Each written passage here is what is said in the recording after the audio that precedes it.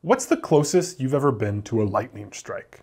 If you've ever been very close, you know they're pretty terrifying. I was sitting around with a group of my guy friends, and lightning struck the parking lot like 100 feet away from us. Despite all being grown men, we screamed like little school children. Stuff is terrifying, and it also is seemingly random. Why does it strike when it strikes? Well, it turns out it all has to do with the electric fields. You see, over time, during storms, the Earth accumulates a positive charge, while our clouds accumulate negative charges. And those change the electric fields between the clouds and the Earth. When they get strong enough, lightning strikes. Let's learn all about these electric fields.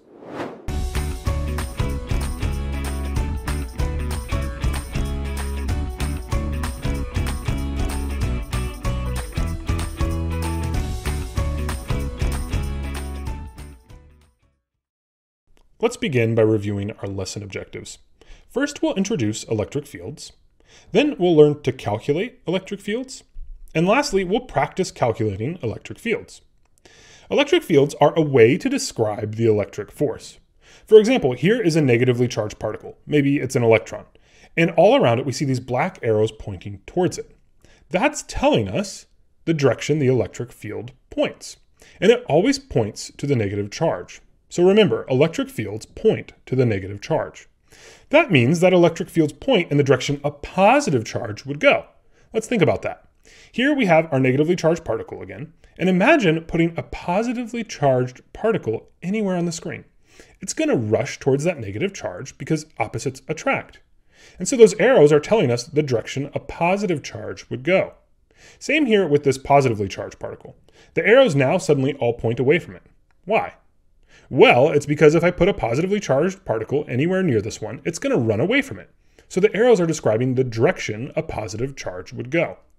Same here. This is a little more complicated. Now suddenly we have two charges, a positive one next to a negative one.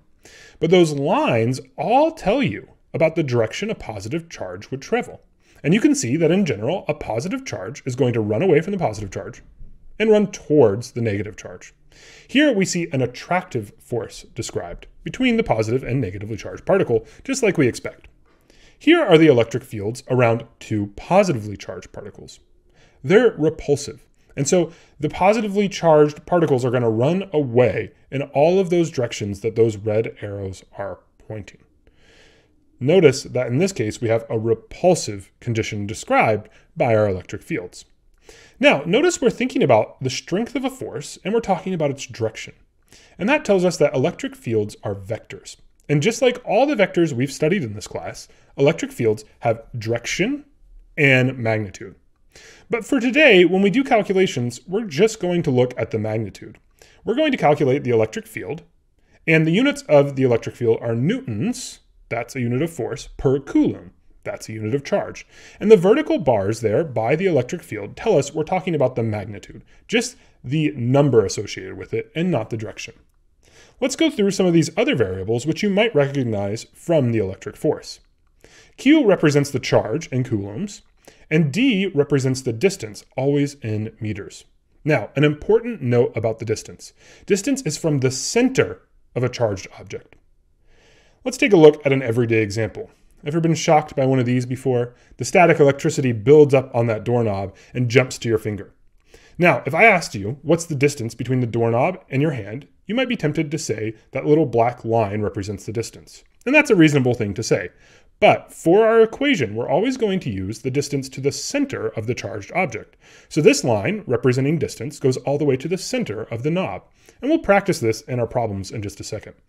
Lastly, we have K, which is the Coulomb constant and it's equal to 8.99 times 10 to the ninth newtons meter squared per coulomb squared. Well, that is a lot. But remember, all those units come from the units we're going to plug into that equation. Now, if you compare the electric field equation to the electric force equation, you can see that they're quite similar. There's just one difference. The electric force has two charges, while the electric field has just one. So if I ever have an electric field and I multiply it by charge, then I can get the electric force. So multiplying the electric field by charge gives force. Okay, let's practice calculating the electric field. This problem says a metal doorknob accumulates a charge of 2.4 nanocoulombs What is the electric field? One centimeter from the surface of the doorknob, provided the doorknob has a radius of three centimeters. And then we're given a series of conversion factors as well as the Coulomb constant. Let's start with a picture. We can basically think of our doorknob as a circle, and we know its radius. Its radius is three centimeters. So we have three centimeters there. But we're not interested in the electric field right at the surface of the doorknob, but an additional centimeter away, as stated in the problem. So an additional one centimeter away. That means when I calculate D, that goes into my electric field formula, I need to take into account that total distance, which is going to be one centimeter plus my three centimeters, for a total of four centimeters. Then we recall that the Coulomb constant has meters in it, not centimeters, and so we need to convert from centimeters to meters before we can use our equation. We'll get rid of centimeters by putting 100 centimeters on the bottom, and we'll put one meter up top. So the centimeters cancel out, and when I divide 4 by 100, I'm going to get 0.04 meters as the distance. Now let's go ahead and calculate the charge, or determine the charge. And in this case, we're going to be using the absolute value, which is why we have those vertical bars there. Our charge is 2.4 nanocoulombs, and it's already positive, so nothing's going to change about it. But those absolute value bars would flip the sign if it was negative. We're basically always going to take just the magnitude of that charge, and we're just going to drop the sign. Okay, now nanocoulombs doesn't match the units in our Coulomb constant once again, which is C. So we're going to need to get rid of the nanocoulombs and go to coulombs. So we'll put nanocoulombs on the bottom, coulombs up top, and the nanocoulombs goes with 1 and the coulombs go with 10 to the minus 9 as indicated in our conversion factor. So nanocoulombs go away, and we get 2.4 times 10 to the minus 9 coulombs. And now we're ready to calculate the electric field. The electric field also has these absolute value bars, which means we're just calculating the magnitude, not the direction. And we start by using the Coulomb constant, 8.99 times 10 to the ninth. Just following this equation right here, we see that k comes first, so we plug that in. Then we're going to multiply that by q, which is 2.4 times 10 to the minus 9 coulombs.